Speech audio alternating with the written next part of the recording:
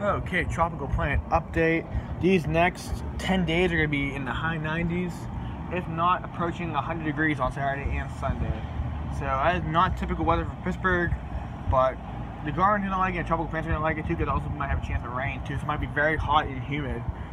But this banana tree is looking really good already, nice and green. You got some of the older leaves turn a little bit yellow, but that's, that's just normal. And we started two couple baby ones trying to pop up here. I'm trying to stop them so we can just focus on the main growth on the banana tree. So everything looking good.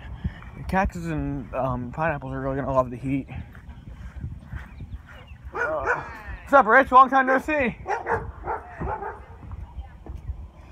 Yeah, I saw them at work a little bit ago. Got the passion fruit looking good. Everything got fertilized up here too. Um, pineapple, um, not pineapple, palm tree looking good. Nice and green. These new leaves should be opening up really, really soon definitely coming back to life now. Definitely the new dirt and everything really helped it a lot. Definitely need it extremely bad. Um, something I should have done a long time ago. But when you read directions a lot wrong, that's what happens. Passion fruit we got looking good. We got one on here. It's very surprising. We normally have a ton more. not sure what's going on. We got nothing from the orange tree this summer. Not a shocker, but um, we'll be tripping these off the next couple weeks or so, maybe not sooner than that. Very soon. I want to get before fall comes around, so I have a chance to recover before we take it inside. Aren't you looking good? You got uh, the lime tree, really nothing going on. He keeps turning his car and falling off. The limes are kind of a bust this summer too. But we still got new ones growing, flowers, but just don't last too long after that.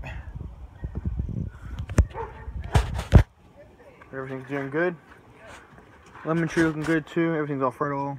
Cactus looking good. How many you picked today? Oh, you dropped one.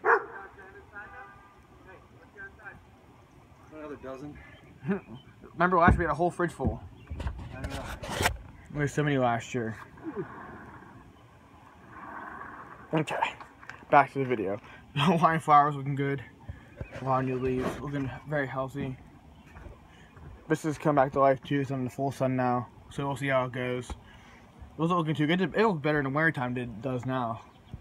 But I guess it's going to be approaching 100 this weekend in the next 10 days or so, if not longer than that. It's going to be at least in the high 90s. It may even touch 100 again a couple times. So it's very, very hot. So I think these plants are really going to like it too. And there's also a chance of rain on those days too. So it could be extremely hot and very humid. And these is what the plants love. I mean, I think I checked the forecast in um, Key West, which is where the coconut tree's from. It was temperature like 90 degrees and had like, um, felt like 117. So definitely definitely, definitely, all the tropical plants are gonna love the, the, heat. That's for sure. And plus, it'll be very, very sunny too. So you're gonna do really good, especially if it rains too. It'll be very hot and humid. Extremely well.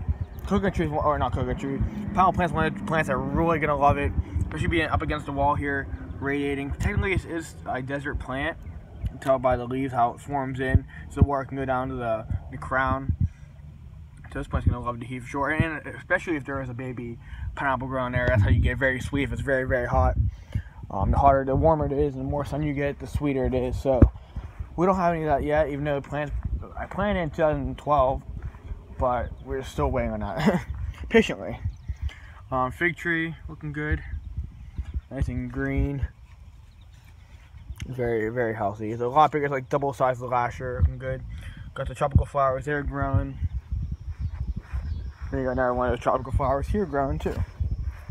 Hopefully flowers we can save the seeds and try again next year. We Would not have much good luck. We got those two more tropical flowers. And we got the main guys, man trees here. These ones are probably be as big as a window by end of summer. That's at least how it was the last couple years I've done it. They do extremely good here because they get the shade, the sun during the evening, and then when it rains, it just floods down here. Comes off the side of the house. So guys, I hope you guys enjoyed this update over here. Um, thank you guys for watching. I'll see you guys again tomorrow. Please make sure you subscribe, like, any questions, leave me a comment section below. I'll see you guys tomorrow. Thank you guys for watching.